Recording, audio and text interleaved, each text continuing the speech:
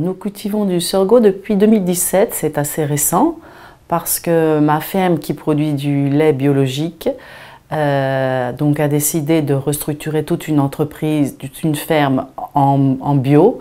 Et donc on a dû faire des choix pour produire des produits, euh, des céréales pour alimenter euh, nos vaches et avec toutes les règles du bio, donc éviter tout ce qui était produits phytosanitaires et donc avoir des produits à normes du biologique pour l'alimentation. Donc nous faisons des céréales euh, à base de sorgho dans, le 2017 et en 2018 nous avons fait du sorgho foragero.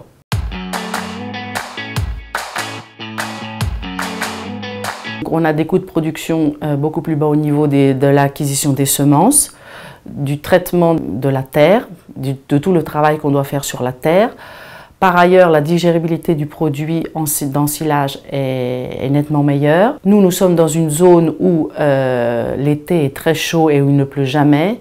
Il n'a pas de grande nécessité euh, d'être irrigué. Le résultat est, très bon.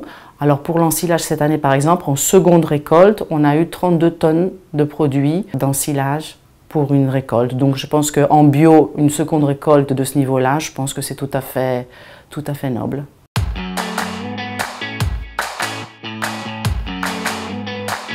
Si je devais conseiller un agriculteur italien à produire du sorgho, la première chose que je lui dirais, surtout pour un agriculteur italien, c'est d'apprendre à faire les comptes. Parce qu'en Italie, mais je pense peut-être aussi en France, on aime beaucoup dire combien de tonnes on a produit.